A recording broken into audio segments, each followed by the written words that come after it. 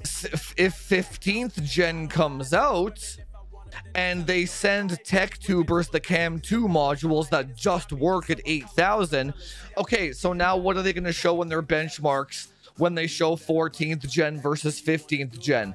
They're going to show 14th gen with like 6400 and then they're going to show 15th gen with 8000 it just works CAMM2 xmp now you have this insanely skewed graph showing 15th gen being way faster than 14th gen. And it's going to be a whole misinformation cycle all over again.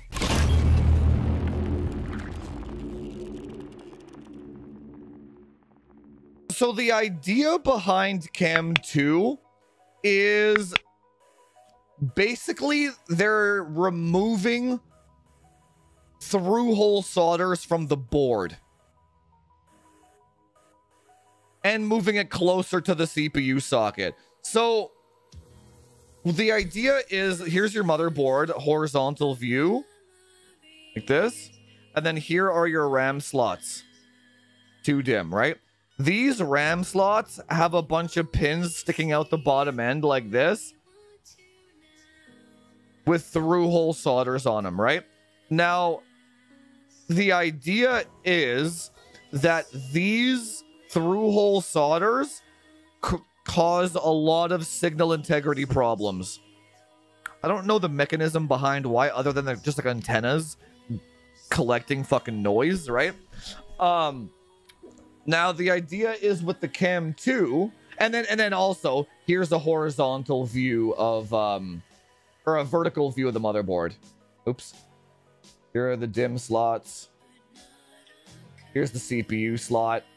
The traces have to be equal length.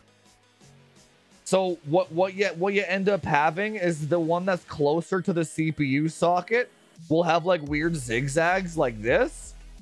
And if you look at your motherboard, you can see them. It's pretty cool. The weird zigzags like this to make this one artificially longer so that this one, when it reaches it, both signals hit at the same time, right? Now, the idea behind CAMM2 CPU socket, CAMM2 module. Is this just like two lines straight to the fucking CPU socket with no zigzags, no worrying about any of that fucking nonsense, right? So theoretically, it should be much better for very high memory frequencies. Should be. Um, that's why they're advertising like 8400 and shit now with CAMM2, right? We can do 8400. I just did 8400 on the on the fucking um the lightning board, right? So it's it's not like we can't do it now. It's just this should be easier with XMP without with much less FAFO and micro adjusting your system agent and Q voltage by the microvolt and all that shit, right? Now, here's the major elephant in the room with this entire thing. Just the, like literally, what's the goal? We always go back to this, don't we? But it's just like, what's the fucking goal? Um, there is none. There's none, and and for there is hang on, let me rephrase. There is none for gaming. Easier to cool? No, I would say it's harder to cool. We'll find out because you got a lot more density on one chip now. You can't spread the heat load, right? And and you also how are you gonna put a fan on this, right? You would need a fan on the back of the motherboard and the front. Not you can't you can't put a fan going up and down now. So now all of a sudden top intake isn't gonna cool your RAM, right? So yeah, that's another con as well. Maybe cooling it might be fucking horrendous, right? Um, it can soak into the motherboard, but that's not a good thing either, right? It's gonna heat up your chipset and your CPU socket as well. That's not good. We'll see what kind of cooling designs they have, right? But um, water cooling it will be more difficult now, or except if they have like a Z790 Aqua mono block covering the whole board and the CAMM2 that'd be fucking sick yeah because then your your whole mono block would cover the entire and the RAM. That'd make it really simple, right? But uh, I'm assuming the very first iterations of this, it's gonna be kind of a clusterfuck, and you're gonna be better off just water cooling regular DIMMs, right? And if we have so many we have so many water blocks for DIMMs now and it's so cheap that it's like it's so cheap it's going to be hard to adopt this right? But here's the thing. We're going back to the, what's the goal again? If you can hit 8000 with a die zero fps increase after that. That's it. So like so like so do you remember how like 4400 was the sweet spot for the 10900K? So if you hit 4400, if you did 46 or 4800, there was no more FPS increase. Or if you hit like um what was it? 35 nanoseconds on a 10900K, those those idiots that went like 32, 33, no FPS increase, right? Um if you hit 53 nanoseconds on a 14900K. If you go below that, no FPS increase anymore. There's always a threshold. There's always a bell curve of when you pass something. It's not even just diminishing returns. It's like it just stops. There's no more FPS increase beyond that, right? Or if it is, it's unmeasurable like one FPS for every 200 megahertz now, right? So for gaming, there's no advantage whatsoever, at least on 14th gen, right? That might be different for 15th gen. Now, here's the other. Here's the other fucking problem with that. 15th gen here's my okay this is this is more of a prediction. This is this might not be factual at all. This is my prediction. 15th gen isn't going to clock as high as 14 that's probably a fact right? So it's not going to need faster ram unless they really like cut the cache in half or some shit like that. But it still has 16 E cores, so the cache should be the same. I'm assuming, right between 14 and 15. So now you have 14th gen, 15th gen, same cache. 15th gen has higher IPC, lower clock speed. Basically, I'm gonna go ahead and assume that the memory subsystem requirements of both generations is going to be the exact same. So, with that information in mind, 8000 is all you need. Again, for gaming. So then who fucking cares about CAMM2? Now that might change for 16th gen, 17th gen, 18th gen. Maybe not, though. Here's why. What does 3D cache teach us from the AMD side of things? Memory doesn't matter. 6,000 is good enough.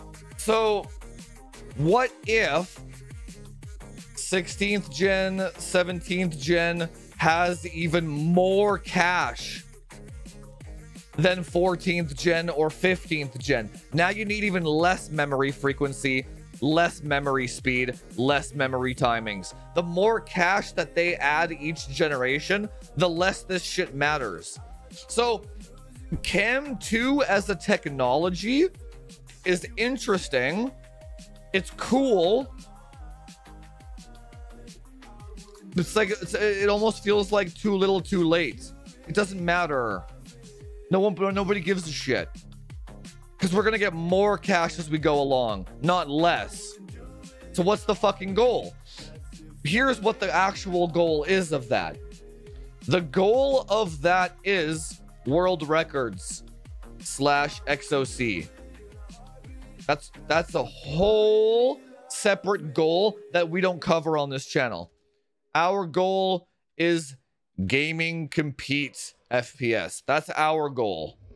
Or or also um gameplay experience FPS. Like smooth single player VR, no dips. It just works experience. You know what I'm saying? Um, I mean, I'll still, I'm gonna obviously test it because I, I, I'm, I'm talking out of my ass. You can't just say it's not gonna make a difference without testing it. This is all a prediction of mine. Um, but it, it, I would say if you already have like 8,000 sticks, or if you have DDR5 that already does 8,000, just hang on to those and just wait for me to test it because you're probably going to be fine. And even then, 15th gen might be slower anyway, so you're going to be waiting. Uh, you're going to be waiting until 2026 anyway for fucking 16th or 17th gen. So by the by the time this matters for you, fucking DDR6 might be out. Who fucking knows, right? So it's uh, I, I don't know. Or the other, the only other thing that I can think of of why they're doing this, honestly, is is and it seems to be Intel specific, which is very key, is because large tech tubers are dumb as fuck for XMP and voltage FAFO. I literally, it might just be that, as simple as that. So if, because you have to assume that the large tech tubers are like normies, a normie is not going to make 8,000 work. Even though it can, it's not going to happen if you're a normie. You're not going you're not going to know what the fuck you're doing. What that's why everybody pays me to do it, right? Now if 15th gen comes out, and they send tech tubers the CAMM2 modules that just work at 8000 okay so now what are they going to show in their benchmarks when they show 14th gen versus 15th gen? They're going to show 14th gen with like 6400 and then they're going to show 15th gen with 8000 it just works CAMM2 xmp now you have this insanely skewed graph showing 15th gen being way faster than 14th gen. And it's going to be a whole misinformation cycle all over again. Not misinformation for the normie, but misinformation for those of us that are hardware enthusiasts. It, that that could be a reason why they're coming out with this. It's, it's almost like idiot removal. The 3D cache was the same thing. Idiot removal, right? So yeah, but that could just be it could just be as simple as that anyway. But anyway, when this does come out, just hang on. Let me benchmark it. Let me find out. I'll do 8,000 versus 8,000. I'll do 8,000 versus maxing this thing out. Uh, it, will be a good video. And we'll, we'll, we'll figure it out. We'll get to the bottom of it. But I, but yeah, if you already got good sticks, what's the goal? And then here's the other fucking last thing, last thing. What's the game goal? So if you already have a 14900K and 8000, you are maxing every game right now.